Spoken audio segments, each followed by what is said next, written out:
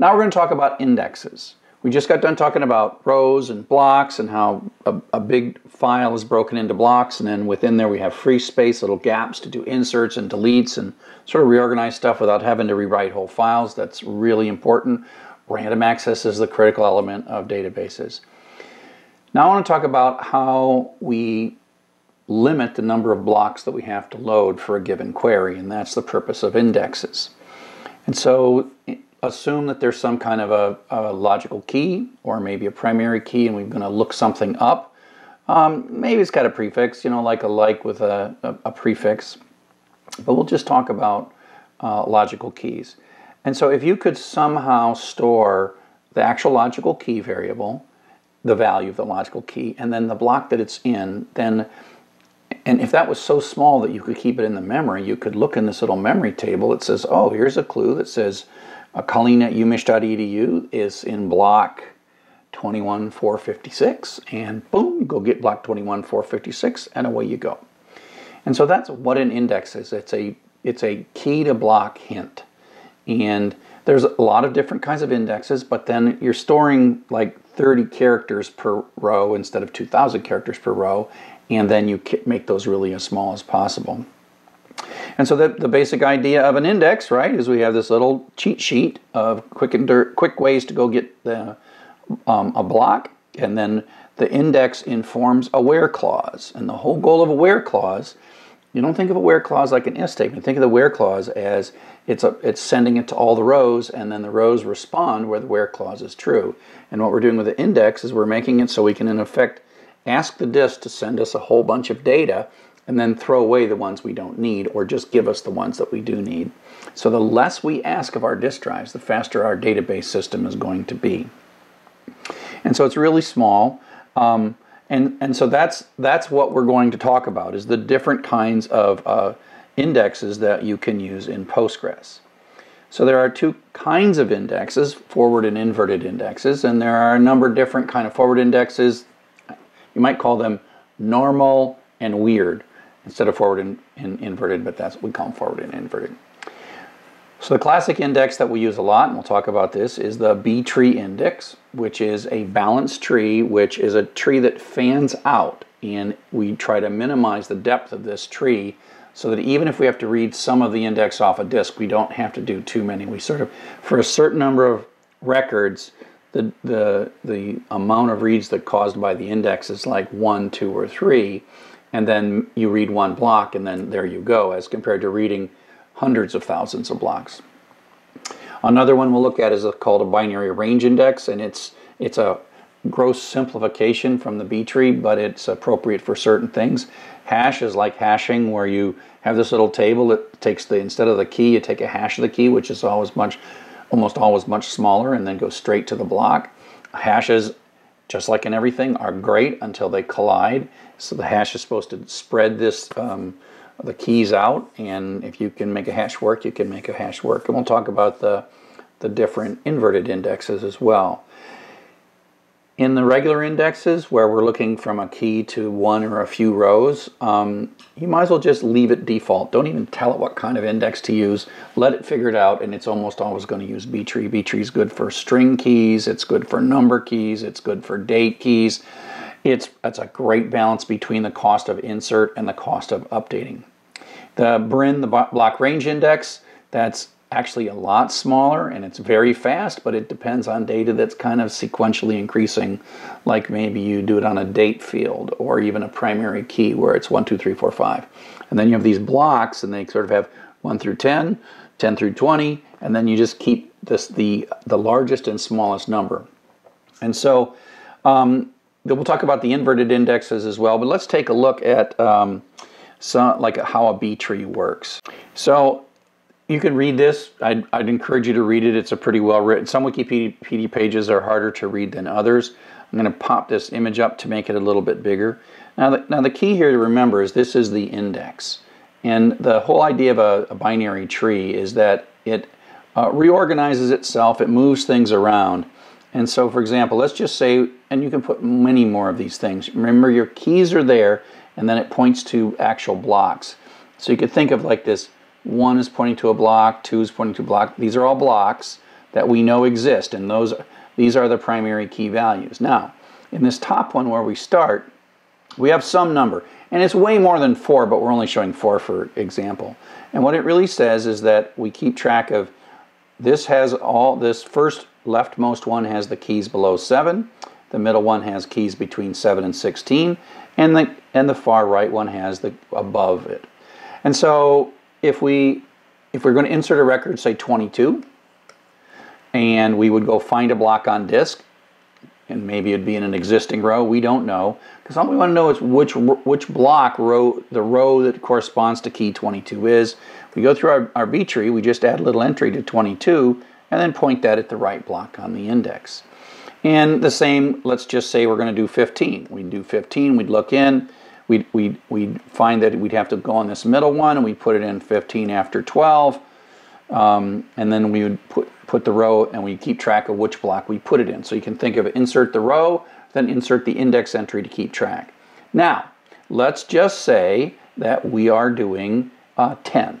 Um, no, let's do um, 4. Let's insert 4. So uh, we're just talking about index maintenance. So you, you, you know it's less than 7, so it's got to go into the, this index field. Now you got to rewrite some things because we know we're it's going to have to go between 2 and 5. So what you have to do is you have to shove things. So you sort of shove the 12 up, the 9 up, the 6 from one block to the next, and the 5 up into that block. Uh, no, the 5 goes to here, and then the 4 is inserted between the 2 and the 5, and then we still have a block for the row, and we keep track of that. So this is how we balance it. And you can imagine if we just ended up with you know way too many things in uh, say the middle block and we filled it up, we'd have to split it. But at, and at some point, there's a, there, this, this tree can be more than two deep, and we worry about keeping the depth of this tree constant. So there's many things, there could be hundreds of entries in each one and each depth, and so you have this tree and it goes out, but the idea is with somewhere like three or four deep, you can have hundreds of thousands of records. And if you had to store these things on disk, you would read the first one, then you'd read second, third, and fourth, and then you'd read the block, which is way better than 200,000 blocks all having to be read and then scanned separately. So it seems like a lot of effort. And this B tree is kind of beautiful in that as long as you leave a little bit of free space in these index blocks, it's pretty easy to add new ones. And every once in a while, you have to kind of do a little reorganization. You might have to make the tree deeper once in a while but it actually does that and it amortizes the cost, the insert cost over inserts pretty well. Every once in a while, insert will be a little more expensive, but most of the time the inserts are really cheap. The cost of updating the index is really cheap, and the scanning cost is really good. So that's again why we kind of say, hey, B trees are great, just use them. Now, let's take a look just for a minute at the Brin, just to give you a sense that this is all about having a sense of um, where to, a, a, hint as to where to find a block. So the Brin um, is, is, something that's it's in a sense unique, at least right now, to um, it's it's unique right now to uh, Postgres, but it's pretty cool. So the, the Brin is a little different. So it's a, this linear list, and each one of these, in a sense, points to. So we got four things. Points to one block on disk. And what you do is you scan the blocks and you look for the minimum and the maximum in each of the blocks, and then you have just two numbers. You characterize each block as two numbers. So this first block is number the key, the values for our logical key are somewhere between 1 and 6. The second block you look at it somewhere between 9 and 12. Third block you look at it 7 and 16, and then 18 to 21. The key thing to look at here is there is actually an overlap. 7 to 16 is actually a bigger range than 9 to 12, which means if we are going to ask where block 10 is, we would have to pull, or record 10, we'd have to pull two blocks in. We'd pull two blocks in because that's what the Brin would tell us to do. It's reduced it from 100,000 blocks, but it's we still got to pull a bunch of blocks in. And of course, then what we do to figure out where 10 really is, because 10 could be in either of those blocks or it could be in neither of those blocks, then you got to read through the blocks. But remember, the blocks are only 8K. So it's not like the end of the world. It's how many blocks you read, not what you do with the blocks. And so if you say find 10, it might say didn't find it, or it might find exactly one copy of it. And then if we think about updates,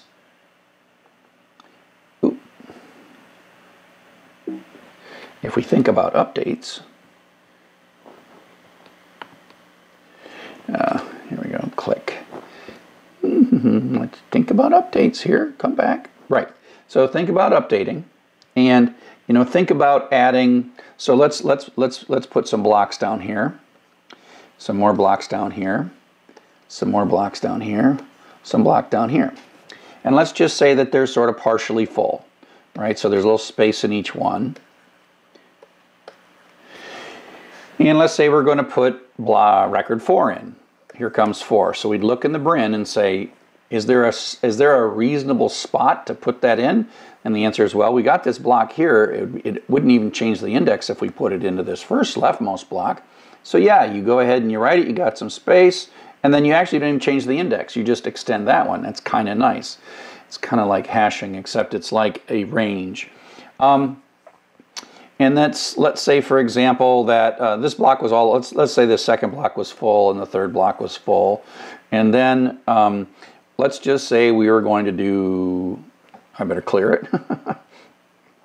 let's say we're going to, we got some blocks. Oh, come back, pen. There we go. We got some blocks, got some blocks, got some blocks, got some blocks, got a block on the, we got four blocks for the four Brin things. And let's just say these 9 through 12s are all full, right? They're both the 9 through 12 and the 7 through 16 are full, and we're going to put 10 in. So you, you can kind of imagine what's going to have to happen. You might come in here, you'll decide to come in here, and you're like, oh, crud, crud, it's full. You might check the second one and say it's full. So then what you would do is be like, hmm, I don't know what I'm going to do. I'll make a whole new block. And what you might do is pull a few records from this from one block, the block the second block and the third block, pull records, put the 10 in there, and then and create a new Brin entry that properly reflects the ranges. And so this might be uh, 9 to 10. The, in the in the leftmost one, then, uh, there might be 11 through 6, uh, 11 through 12, and this one might be you know 13 through 16. So you can kind of see how that it might be adjusted, and then you got to shovel things, shovel things around etc., etc., etc. And so the, that's kind of the update process uh, for the Brin. But the nice thing is, if you have numbers, if you're if you're building blocks that are kind of sequentially growing, and the index is like a primary key, the thing you're indexing is a primary key or a date. These Brins just kind of add on at the end, and, and then it just kind of works, and then you just come in and the queries are super fast, and the size of the Brin is really super tiny.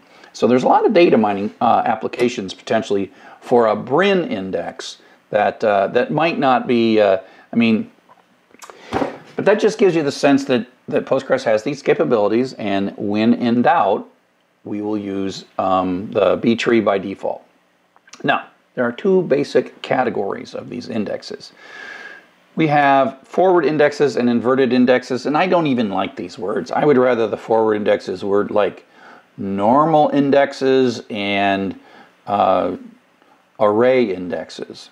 The forward indexes, like I know there's a key value, it represents a column, and from that key value, I will find the row. It's like a logical key or a primary key, and I've indexed that logical key or the primary key. That's a normal index. That's what we've always done for indexes. B-trees, Brins, ISAMs, they're all, they're all variations of I got a key, and the index actually sort of stores the key. So inverse indices work in situations where you have a column, and in that column there's more than one thing. You could think of it as a uh, Python list of things or an array of things, or you could just think of it as a document that has lots of words in it. So in a sense, these columns don't have a single key. They like have an explosive number of keys. And what we're interested in is not necessarily finding one row, but more interested in finding the entire set of rows. So if I'm looking for all the rows where SQL is mentioned, and you could think of this as like it's sort of like a wildcard percent SQL percent. How could we do that efficiently? Well, you have to break the string into pieces and then index all the pieces and keep track of all of the words in any row and which, which rows, i.e. blocks, have those things in them. And that's what an inverse index is. Okay?